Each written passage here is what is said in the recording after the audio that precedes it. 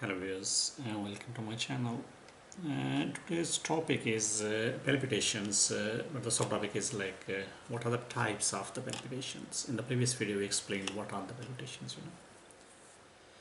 Now there are many types of the palpitations like uh, and uh, like they can be caused by the usually rapid but the irregular heartbeat you know or uh, extra beats of the heart or maybe abnormal heart rhythms, you know, and uh, combination of uh, all these three, you know. And uh, the heart usually beats around uh, uh, 70 beats per minute. And the normal range of an adult can be um, anything from 40 to 100 beats per minute.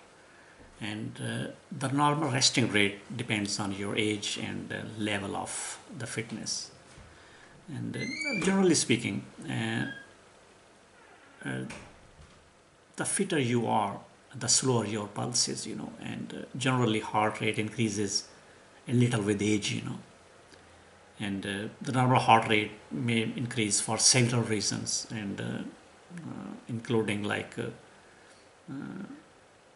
extra beats are usually harmless, you know, and they occur because all the heart muscle cell can generate an electrical signal that can spread outside the normal pathway, you know and they feel like a missed beat or the like uh, uh, thump in the heart, you know, and uh, they are usually felt when resting.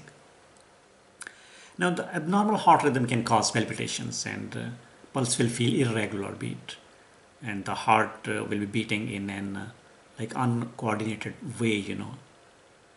Now, the abnormal heart rhythm can result from abnormal electrical activity in the uh, atria are the ventricles you know these are the upper and lower parts of the heart you know and uh, uh, those originating from the ventricles are less common and can be more dangerous than the uh, palpitations uh, who are generated from the uh, atrials you know Thank you very much for watching this video. If you need more information about any disease, any medical condition, you can visit our website www.diseaseandtreatment.com.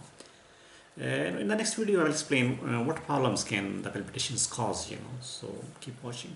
Goodbye.